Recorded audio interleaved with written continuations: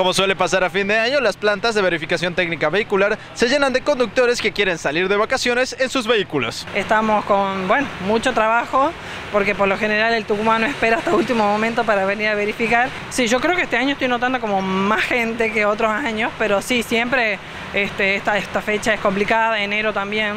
Nosotros vamos a trabajar ahora el, viernes y el sábado, así que esos días seguramente va a ser peor aún. Y por lo general las fallas este, más importantes es el tema del freno, que son aparte las más peligrosas, más para viajar, que la gente que verifica ahora mucho es porque está por viajar.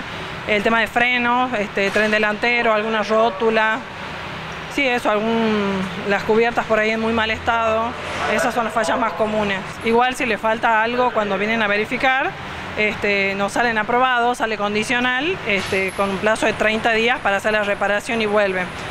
Este, para las motos estamos cobrando 1.400, esto en general en todas las BTV, ¿no? Eh, automóviles 3.500, camionetas 4.500, transporte de pasajeros, que se refiere a colectivos, minibús, todo eso, 4.500, transporte de carga 5.500 y taxi 3.400. Y mira, nosotros estamos trabajando de 8 a 18, de lunes a viernes, y los sábados de 8 a 13. armarse de paciencia.